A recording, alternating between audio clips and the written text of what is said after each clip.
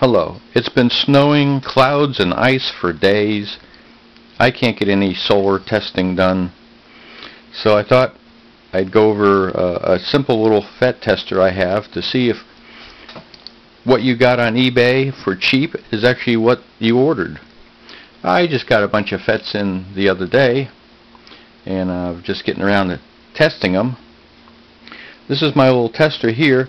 It's the same as you see in any uh, technical book. You feed in a gate voltage here uh, and use a constant current source and then you just measure the voltage and from the voltage you can divide by the amps and it'll give you the resistance. This is a uh, 20N50 and it's rated at 0.27 ohms on resistance at 10 volts and uh, we're testing it at just 5 amps. And as you can see over here if we look at 5 amps times 5 amps power is I squared R. Uh, this thing is dissipating almost six and a half watts uh, way below what that rating is. And it starts to get warm. In any type of uh, when you're using a FET you have a die and then you have the uh, mounting tab and you generally have an insulator and then you'll have the heat sink. All of those have thermal resistances. So uh, even if your your uh, heat sink is cool the die can still be kind of hot. So this little tester here I have uh, two sockets and one will fit a TO-247 this will fit a TO-220.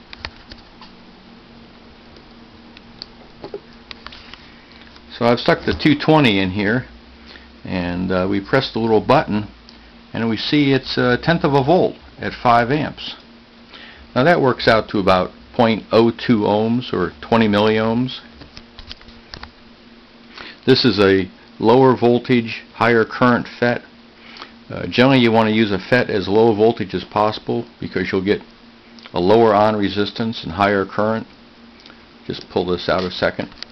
Uh, this top connector is just a uh, standard power connector for a hard drive. The connector below is a standard, I think was some uh, out of a PC or something. Two of the pins are close enough to fit and what I do is I cut the third pin off and uh, hot melt glued it together to the right spacing and so it's a good little tester right now. Uh, if you want you can add a pot to where this 10k pull down resistor is and you can actually see when the turn on currents happen. It'll happen at a when they say that uh, turns on at 0.4 volts that's only about 1 milliamp so be aware you have to put a lot of gate drive on to get these low resistances that they quote you. So right now we're going to test this one and this is uh, 1.08 but if you watch this you'll see it continuing to climb as that die starts to heat up. Remember that's only six and a half watts. The power supply is set to 6, 6 volts, that's all we need. And you can see it's 5 amps. So we can easily do the calculations. Uh, if you notice, if you want to get really accurate measurements, you use clip read leads right on the FET itself because all these sockets have a lot of resistance. And when they normally test these things, they do it with just a 10 volt pulse that's really short and a very low duty cycle so it doesn't heat up. Uh, specification sheets don't lie but you really have to search through them to find out what you really have. Uh, if you don't have a constant current power supply uh, you could go with a headlight or for a car or any big bulb something that draws about 3 to 5 amps. You could use a 3 to 4 ohm resistor and then you could use a meter you know, two meters at, at the same time, one to measure the amps, one to measure the, measure the volts. You can do the calculation.